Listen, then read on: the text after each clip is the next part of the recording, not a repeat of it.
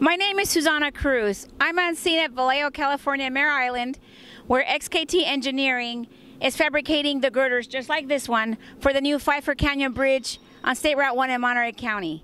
So put your safety glasses on and come with me to take a peek at what's going on behind the scenes. This historic naval building is now the site of the XKT plant, where every technician is busy with a different task, working on girders in different stages of fabrication. While some are operating heavy equipment to drill holes into large pieces of metal, which will make up the girders, others are making precise adjustments to complete the finished product. I'm standing here with Gary Mathison, president of XKT Engineering, who's worked with Caltrans on many projects. Tell me, Gary, my, what makes this unique? Well, this is a heavy project that has to be turned around really quick.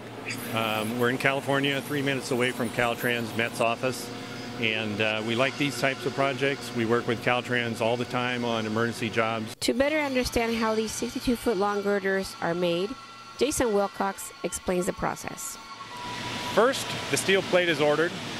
For this project, it was ordered all across the United States, brought to the facility where they've cut it into shape, and now they're welding it. What happens after the steel girders are fabricated here? What happens next? Well, once it's fabricated here, once fabrication is complete, it's shipped to the painters where it'll get painted, then it'll be shipped to the job site where it's going to be assembled and then launched across the canyon. We've gone from realizing that there's a bridge that's failing to designing the new bridge to fabrication in just under two months. That's very unique.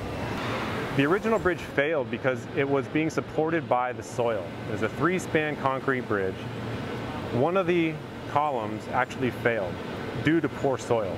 So the designer realized they're going to have to span the entire 310 foot gap or the, the canyon with just a single span steel girder.